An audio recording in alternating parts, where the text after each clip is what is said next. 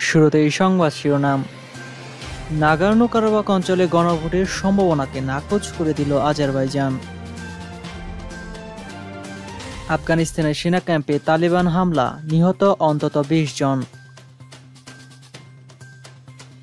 লিবিয়ায় শান্তির সুবাতাস, তিন মাসের মধ্যে বিদেশি সেনা প্রত্যাহার। গাড়ি বোমা বিস্ফোরণে প্রাণ গেল দামেস্কের প্রধান মুফতির। এবং সবশেষ থাকছে পাকিস্তানে গৃহযুদ্ধের ভুয়া খবর নিয়ে ভারতীয় গণমাধ্যমে মাতামাতি। এতক্ষণ শুনছিলেন সংবাদ শিরোনাম, এবার চলুন বিস্তারিত জানা যাক। নাগানো কারাবাক অঞ্চলে গণভোটের সম্ভাবনাকে নাকুচ করেছেন আজারবাইজানের প্রেসিডেন্ট ইলহাম আলিয়েভ। তিনি বলেছেন, গণভোট নিয়ে আলোচনার সময় এখনও আসেনি। আল জাজিরা টেলিভিশনকে আজ এ খবর দিয়েছেন। আজের প্রেসিডেন্ট আরও বলেছেন নাগানো কারাবাক নিয়ে এর আগে যে আলোচনা হয়েছে, সেখানে গণভোটের কোনো প্রসঙ্গে আসেনি। নাগানো কারাবাকের বেশিরভাগ এলাকা এরই মধ্যে পুনরুদ্ধার করা সম্ভব হয়েছে বলে জানান তিনি। আলিয়া বলেন, বর্তমান পরিস্থিতিতে গণভোট আয়োজনের সম্ভাবনা তারা মানবেন না। এছাড়া পরিস্থিতি পর্যবেক্ষণে যে শান্তিরক্ষী বাহিনী মোতায়েন করা হচ্ছে বলে বলা হচ্ছে, তাতে কোন কোন দেশ থাকবে সেটাও ঠিক করবে আজারবাইজান এবং আর্মেনিয়া। সম্প্রতি আজারবাইজান এবং আর্মেনিয়ার মধ্যে নাগানো কারাবাক অঞ্চলের নিয়ন্ত্রণ নিয়ে ব্যাপক সংঘর্ষ শুরু হয়েছে। এর ফলে বহু মানুষ হতাহত হয়েছেন। দুই দেশ এ পর্যন্ত দুইবার যুদ্ধবিরতিতে সম্মত হলেও স্বল্প সময়ের ব্যবধানে তা বেঁচতে গেছে। আন্তর্জাতিকভাবে নাগানো কারাবাক অঞ্চলটি আজারবাইজানের ভূখণ্ড হিসেবে স্বীকৃত, কিন্তু উনিশশো নব্বই এর দশকে সেখানে নিয়ন্ত্রণ প্রতিষ্ঠা করে আর্মেনিয়া। দখলকৃত এলাকা থেকে বহু আজিরি নাগরিককে বিতাড়িত করা হয় বলে অভিযোগ রয়েছে।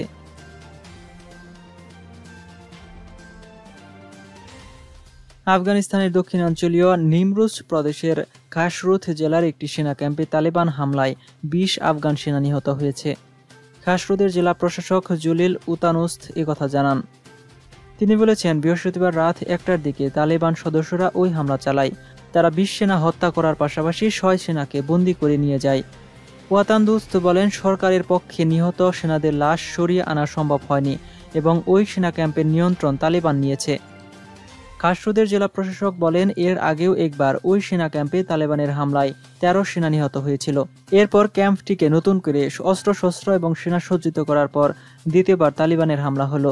এর আগে গত মঙ্গলবার আফগানিস্তানের তালিবান গোষ্ঠী উত্তর পশ্চিমাঞ্চলীয় তাখার প্রদেশের আকস্মিক হামলা চালিয়ে অন্তত পঁচিশ সেনা সদস্যকে হত্যা করেছিল। লিবিয়ায় যুদ্ধরত দুই পক্ষ দেশটির স্থায়ী যুদ্ধবিরতি দিয়ে শান্তি চুক্তি করতে সম্মত হয়েছে। শুক্রবার যুদ্ধরত প্রধান দুই পক্ষ এ পূর্ণাঙ্গ যুদ্ধবিরতিতে রাজি হয়।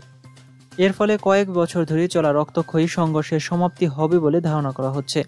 এছাড়াও দেশটি থেকে রাশিয়া, তুরস্ক এবং অন্যান্য আঞ্চলিক শক্তিগুলো সেনাদের ফিরিয়ে নিতে পারে।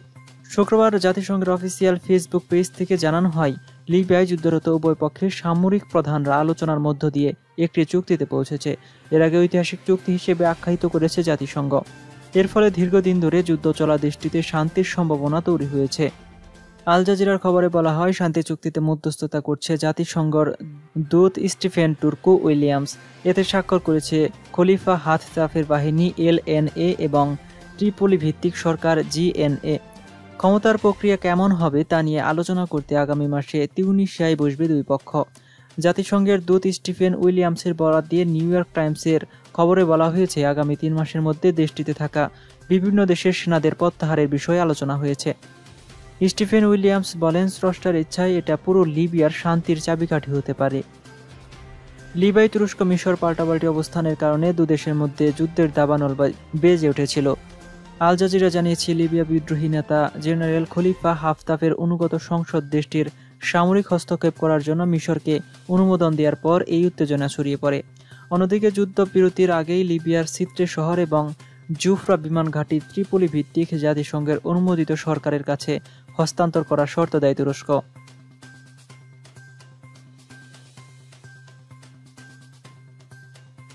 সিরিয়ার দামেস্কের grand mufti Sheikh Mohammad Adnan Afyouni গাড়ি বোমা হামলায় নিহত হয়েছেন।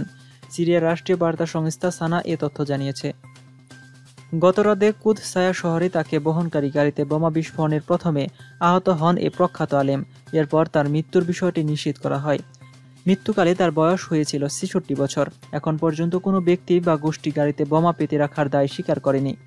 শায়েক মোহাম্মদ আদনান আফিউনি ইসলাম গবেষক হিসেবে সিরিয়ার বাইরেও পরিচিত ছিলেন। তিনি সিরিয়ার জাতীয় ঐক্য এবং সংহতির জন্য ব্যাপক চেষ্টা চালিয়ে গিয়েছেন। গোটা দামেস্ক প্রদেশের প্রধান মুফতি ছিলেন তিনি। দুই হাজার ষোলো সালে তার ইমামতিতে ঈদুল আজহার নামাজে অংশ নেন সিরিয়ার প্রেসিডেন্ট বাশার আল আসাদ। সিরিয়ায় দুই হাজার একুশ সাল থেকে বিদেশি মদতে সহিংসতা ছড়িয়ে দেওয়া হয়েছে। সহিংসতায় এ পর্যন্ত অসংখ্য মানুষ হতাহত হয়েছেন।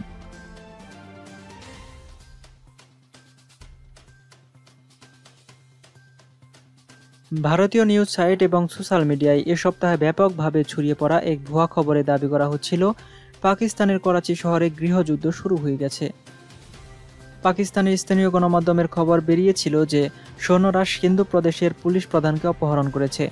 শীর্ষ স্থানীয় এক বিরোধী রাজনৈতিককে গ্রেফতার করতে পুলিশকে বাধ্য করার জন্য নাকি ওই পুলিশ প্রধানকে অপহরণ করা হয়। ওই খবরের পরই ভারতীয় সংবাদ মাধ্যমে করাচিতে গৃহযুদ্ধ শুরু হয়েছে বলে খবর প্রচার করতে থাকে।